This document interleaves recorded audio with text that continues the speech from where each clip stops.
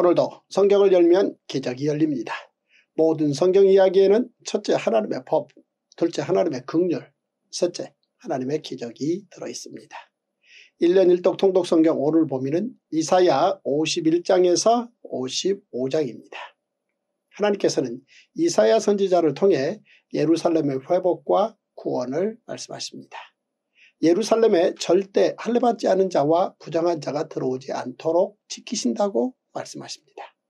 더러워진 예루살렘 성의 리모델링을 선언하신 것입니다. 그동안 예루살렘은 부끄러운 모습이었습니다. 그러나 이제 하나님께서 예루살렘을 향하여 깰지어다 깰지어다 내 힘을 낼지어다 라고 명령하십니다. 하나님의 이 명령은 흙으로 인간을 빚으시고 그 코에 불어 넣어주셨던 생기와도 같은 것이었습니다.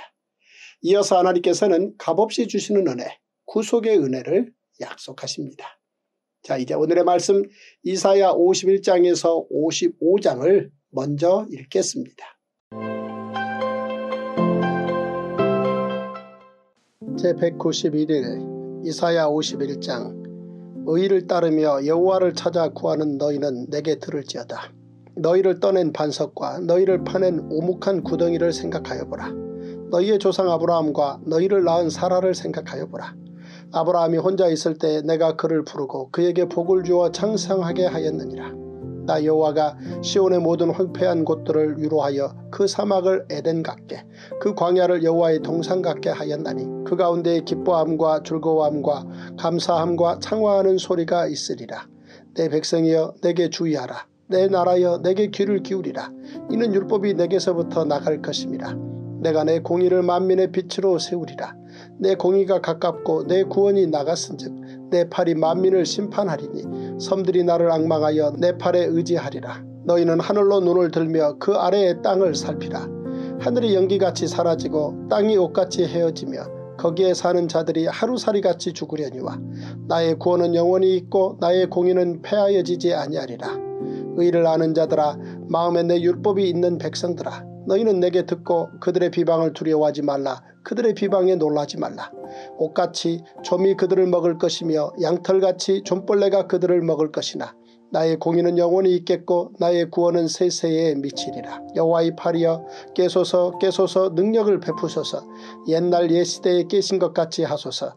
라합을 점이시고 용을 찌르신 이가 어찌 주가 아니시며 바다를 넓고 깊은 물을 말리시고 바다 깊은 곳에 길을 내어 구속받은 자들을 건너게 하신 이가 어찌 주가 아니시니까 여호와께 구속받은 자들이 돌아와 노래하며 시온으로 돌아오니 영원한 기쁨이 그들의 머리 위에 있고 즐거움과 기쁨을 얻으리니 슬픔과 탄식이 달아나리이다. 이르시되 너희를 위로하는 자는 나 곧 나이니라. 너는 어떠한 자에게 죽을 사람을 두려워하며 풀같이 될 사람의 아들을 두려워하느냐.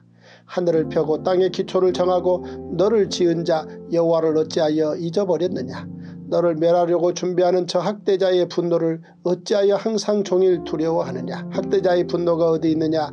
결박된 포로가 속히 놓일 것이니 죽지도 아니할 것이요. 구덩이로 내려가지도 아니할 것이며 그의 양식이 부족하지도 아니하리라.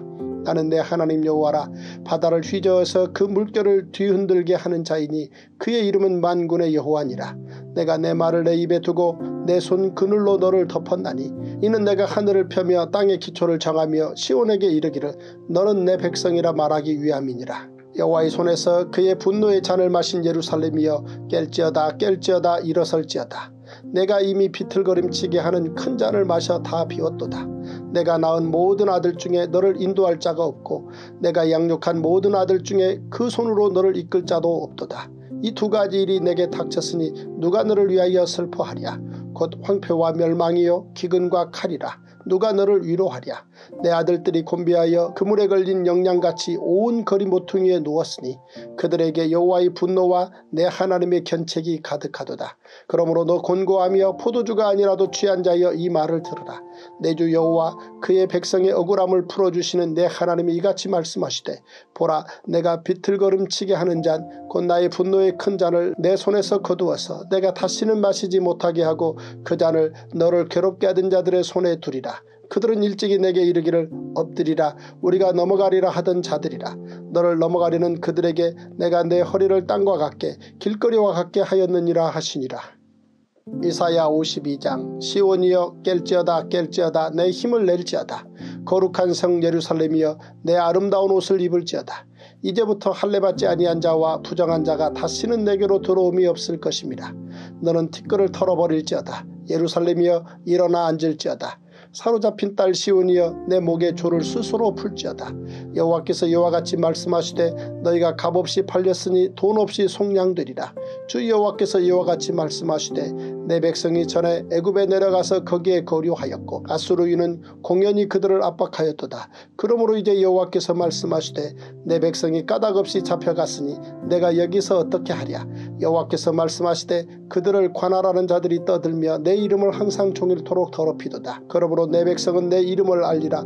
그러므로 그날에는 그들이 이 말을 하는 자가 나인 줄을 알리라. 내가 여기 있느니라. 좋은 소식을 전하며 평화를 공포하며 복된 좋은 소식을 가져오며 구원을 공포하며 시온을 향하여 이르기를 내 하나님이 통치하신다 하는 자의 산을 넘는 발이 어찌 그리 아름다운가 내 파수꾼들의 소리로다 그들이 소리를 높여 일제히 노래하니 이는 여호와께서 시온으로 돌아오실 때에 그들의 눈이 마주 보리로다 너 예루살렘의 황폐한 곳들아 기쁜 소리를 내어 함께 노래할지어다.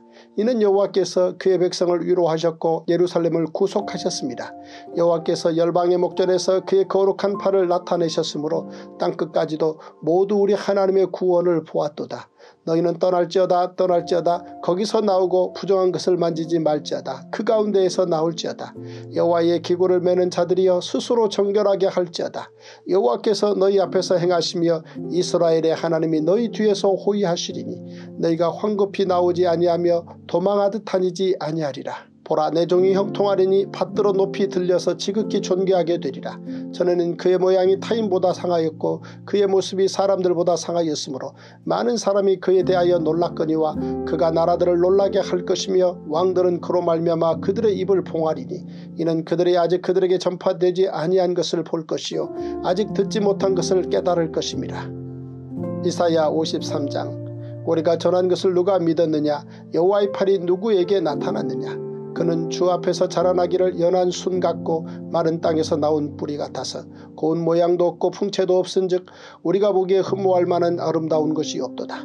그는 멸세를 받아 사람들에게 버림받았으며 간고를 많이 겪었으며 질고를 아는 자라. 마치 사람들이 그에게서 얼굴을 가리는 것 같이 멸시를 당하였고 우리도 그를 귀히 여기지 아니하였도다. 그는 실로 우리의 질고를 지고 우리의 슬픔을 당하였거늘 우리는 생각하기를 그는 징벌을 받아 하나님께 맞으며 고난을 당한다 하였노라. 그가 찔림은 우리의 허물 때문이요 그가 상함은 우리의 죄악 때문이라. 그가 징계를 받음으로 우리는 평화를 누리고 그가 채찍에 맞음으로 우리는 나음을 받았도다. 우리는 다 양 같아서 그릇 행하여 각기 제 길로 갔거를 여호와께서는 우리 모두의 죄악을 그에게 담당시키셨도다. 그가 곤욕을 당하여 괴로울 때에도 그의 입을 열지 아니하였으며 마치 도수장으로 끌려가는 어린 양과 털 깎는 자 앞에서 잠잠한 양같이 그의 입을 열지 아니하였도다. 그는 곤욕과 신문을 당하고 끌려갔으나 그 세대 중에 누가 생각하기를 그가 살아있는 자들의 땅에서 끊어짐은 마땅히 형벌받을 내 백성의 허물 때문이라 하였으리요. 그는 강포를 행하지 아니하였고 그의 입에 거짓이 없었으나 그의 무덤이 악인들과 함께 있었으며 그가 죽은 후에 부자와 함께 있었도다. 여호와께서 그에게 상 상함을 받게 하시기를 원하사 질고를 당하게 하셨은즉 그의 영혼을 속건제물로 드리기에 이르면 그가 씨를 보게 되며 그의 날은 길 것이요 또 그의 손으로 여호와께서 기뻐하시는 뜻을 성취하리로다. 그가 자기 영혼에 수고한 것을 보고 만족하게 여길 것이라. 나의 의로운 종이 자기 지식으로 많은 사람을 의롭게 하며 또 그들의 죄악을 친히 담당하리로다. 그러므로 내가 그에게 존귀한 자와 함께 몫을 받게 하며 강한 자와 함께 탈취한 것을 나누게 하리니 이는 그가 자기 영혼을 버려 사망에 이르게 하며 범죄자 중 하나로 헤아림을 받았음이니라. 그러나 그가 많은 사람의 죄를 담당하며 범죄자를 위하여 기도하였느니라. 이사야 54장 잉태하지 못하며 출산하지 못한 너는 노래할지어다. 산고를 겪지 못한 너는 외쳐 노래할지어다. 이는 홀로 된 여인의 자식이 남편 있는 자의 자식보다 많음이라. 여호와께서 말씀하셨느니라. 내 장막태를 넓히며 내 처소의 휘장을 아끼지 말고 널리 펴되 너의 줄을 길게 하며 너의 말뚝을 견고히 할지어다. 이는 내가 좌우로 퍼지며 내 자손은 열방을 얻으며 황폐한 성읍들을 사람 살 곳이 되게 할 것입니다. 두려워하지 말라 내가 수치를 당하지 아니하리라. 놀라지 말라. 내가 부끄러움을 보지 아니하리라. 내가 내 젊었을 때의 수치를 잊겠고 과부 때의 치욕을 다시 기억함이 없으리니 이는 너를 지으신 이가 내 남편이시라. 그의 이름은 만군의 여호와이시며 내 구속자는 이스라엘의 거룩한 이시라. 그는 온 땅의 하나님이라 일컬음을 받으실 것이라 여호와께서 너를 부르시되 마치 버림을 받아 마음에 근심하는 아내 곧 어릴 때 아내가 되었다가 버림을 받은 자에게 함과 같이 하실 것입니다. 내 하나님께서 말씀하셨느니라 내가 잠시 너를 버렸으나 큰 국률로 너를 모을 것이요 내가 넘치는 진노로 내 얼굴을 내게서 잠시 가렸으나 영원한 자비로 너를 국률이 여기리라 내 구속자 여호와께서 말씀하셨느니라 이는 내게 노아의 홍수와 같도다. 내가 다시는 노아의 홍수로 땅 위에 범람하지 못하게 하리라 맹세한 것 같이. 내가 내게 노하지 아니하며 너를 책망하지 아니하기로 맹세하였노니 산들이 떠나며 언덕들은 옮겨질지라도 나의 자비는 내게서 떠나지 아니하며 나의 화평의 언약은 흔들리지 아니하리라. 너를 극률이 여기시는 여호와께서 말씀하셨느니라. 너 곤고하며 광풍에 요동하여 안위를 받지 못한 자여 보라 내가 화려한 채색으로 내 돌 사이에 더하며 청옥으로 내 기초를 쌓으며 홍보석으로 내 성벽을 지으며 성류석으로 내 성문을 만들고 내 지경을 다 보석으로 꾸밀 것이며 내 모든 자녀는 여호와의 교훈을 받을 것이니 내 자녀에게는 큰 평안이 있을 것이며 너는 공의로 설 것이며 학대가 내게서 멀어질 것인즉 내가 두려워하지 아니할 것이며 공포도 내게 가까이 하지 못할 것이라 보라 그들이 분쟁을 일으킬지라도 나로 말미암지 아니한 것이니 누구든지 너와 분쟁을 일으키는 자는 너로 말미암아 패망하리라. 보라 숯불을 불어서 자기가 쓸만한 연장을 제조하는 장인도 내가 창조하였고 파괴하며 진멸하는 자도 내가 창조하였은즉 너를 치려고 제조된 모든 연장이 쓸모가 없을 것이라. 일어나 너를 대적하여 송사하는 모든 혀는 내게 정죄를 당하리니 이는 여호와의 종들의 기업이요 이는 그들이 내게서 얻은 공인이라 여호와의 말씀이니라. 이사야 55장 오호라 너희 모든 목마른 자들아 물로 나아오라. 돈 없는 자도 오라. 너희는 와서 사먹되 돈 없이 값없이 와서 포도주와 젖을 사라. 너희가 어찌하여 양식이 아닌 것을 위하여 은을 달아주며 배부르게 하지 못할 것을 위하여 수고하느냐? 내게 듣고 들을지어다. 그래야면 너희가 좋은 것을 먹을 것이며 너희 자신들이 기름진 것으로 즐거움을 얻으리라. 너희는 귀를 기울이고 내게로 나와 들으라. 그리하면 너희의 영혼이 살리라 내가 너희를 위하여 영원한 언약을 맺으리니 곧 다윗에게 허락한 확실한 은혜이니라. 보라 내가 그를 만민에게 증인으로 세웠고 만민의 인도자와 명령자로 삼았나니 보라 내가 알지 못하는 나라를 내가 부를 것이며 너를 알지 못하는 나라가 내게로 달려올 것은 여호와 내 하나님 곧 이스라엘의 거룩하신 이로 말미암음이니라. 이는 그가 너를 영화롭게 하였느니라. 너희는 여호와를 만날 만할 때에 찾으라. 가까이 계실 때에 그를 부르라. 아기는 그의 길을 불의한 자는 그의 생각을 버리고 여호와께로 돌아오라. 그리하면 그가 극률이 여기시리라. 우리 하나님께로 돌아오라. 그가 너그럽게 용서하시리라. 이는 내 생각이 너희의 생각과 다르며 내 길은 너희의 길과 다름이니라. 여호와의 말씀이니라. 이는 하늘이 땅보다 높음같이 내 길은 너희의 길보다 높으며 내 생각은 너희의 생각보다 높음이니라.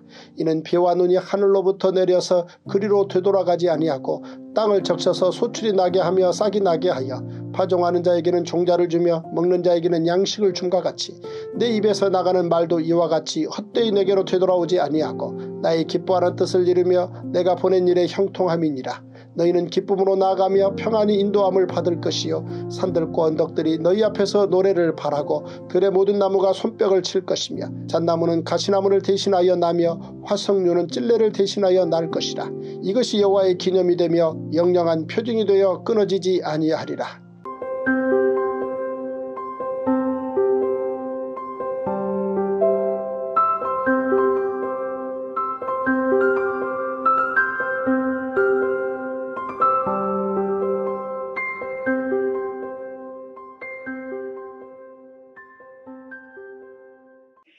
말씀 이사야 51장에서 55장에 등장하는 성경 지리 즉 공간은 시온, 예루살렘, 애굽, 에덴입니다. 그리고 등장인물은 이사야입니다. 이사야 51장에서 하나님께서는 하나님의 뜻을 믿고 순종한 아브라함의 이야기를 통해 하나님의 능력과 뜻을 남유다 백성들에게 알리시며 구원을 약속해 주십니다. 시온이여 깰지어다 깰지어다 내 힘을 낼지어다 거룩한 성 예루살렘이여 내 아름다운 옷을 입을지어다.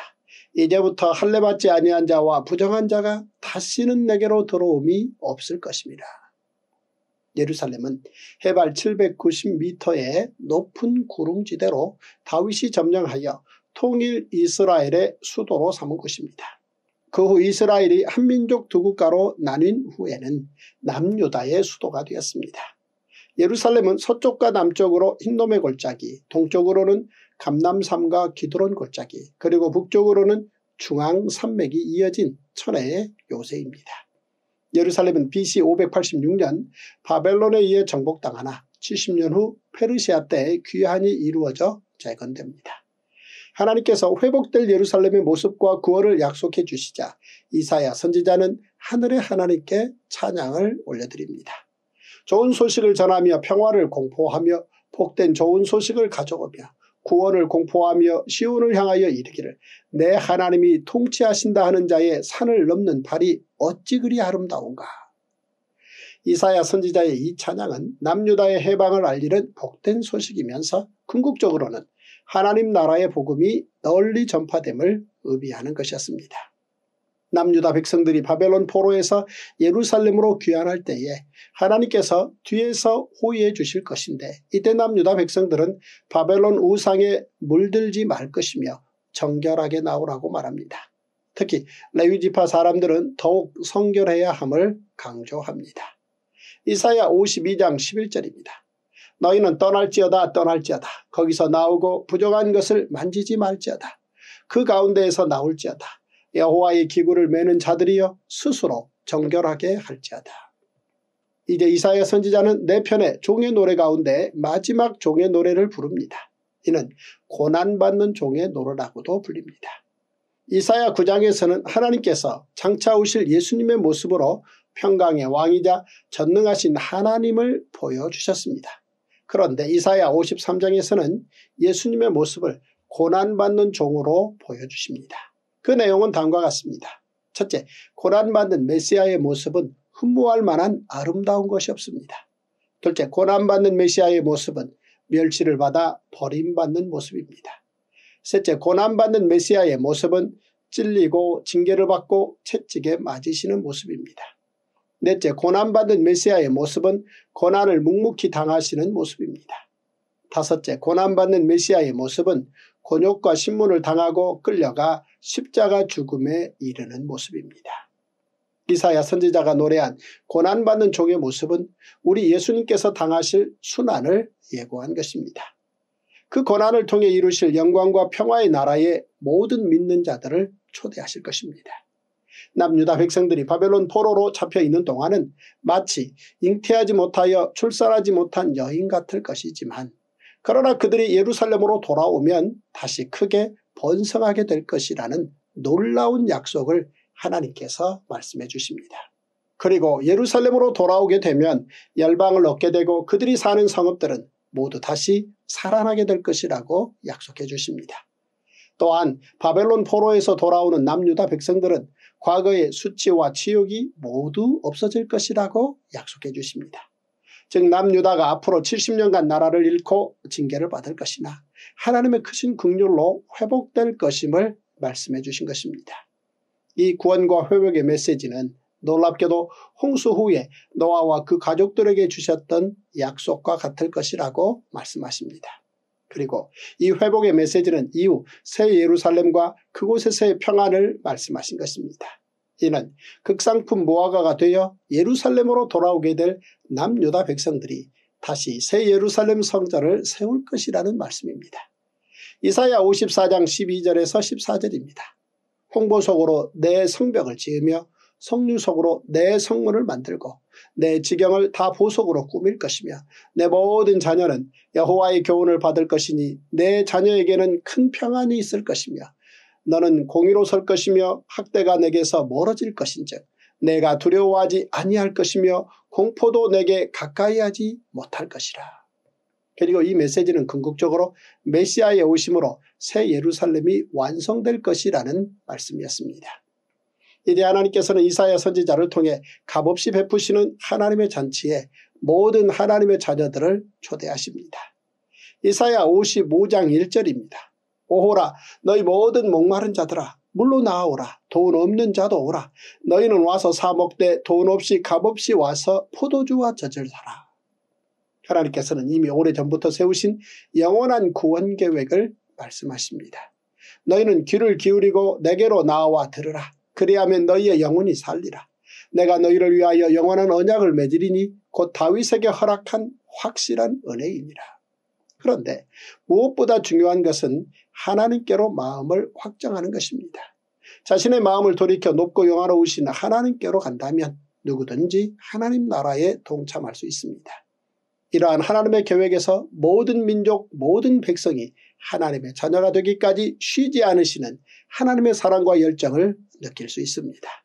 하나님의 이 놀라운 초대는 모든 민족을 위한 예수 그리스도의 초대입니다. 하나님께서는 초대받은 사람들을 향해 회개를 촉구하십니다. 그러면 하나님께서 극률로 너그럽게 용서해 주겠다고 약속하십니다. 이사야 55장 6절에서 7절입니다. 너희는 여호와를 만날 만할 때에 찾으라. 가까이 계실 때에 그를 부르라. 악인은 그의 길을 불의한 자는 그의 생각을 버리고 여호와께로 돌아오라. 그리하면 그가 극률이 여기시리라. 우리 하나님께로 돌아오라. 그가 너그럽게 용서하시리라. 이러한 하나님의 긍휼과 사랑 하나님의 깊고 높으신 생각을 어찌 인간이 다 헤아릴 수 있겠습니까 이는 내 생각이 너희의 생각과 다르며 내 길은 너희의 길과 다름이니라. 여호와의 말씀이니라 이는 하늘이 땅보다 높은 같이 내 길은 너희의 길보다 높으며 내 생각은 너희의 생각보다 높음이니라. 하나님께서 준비하신 영광과 평화의 초대에 응함으로 죄에서 용서받고 구원받는 큰 기쁨이 우리 모두에게 오늘 임하시기를 소망합니다. 오늘도 성경을 열면 기적이 열립니다. 시대가 어려울수록 근본인 성경에 더욱 더욱 기초해야 합니다. 아주 가까운 소중하신 한 분과 오늘의 이 이야기를 꼭 공유해 주십시오. 성경 한 권이면 충분합니다. Wow!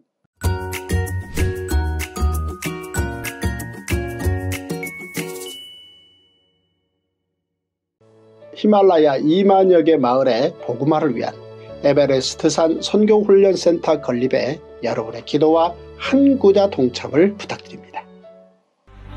Dr. James O. Davis, the founder and president of Global Church Network, has repeatedly said, For my entire life, I've heard about the underground church in the Middle East, but now it is time to hear about the upper ground church in the Himalayan mountains.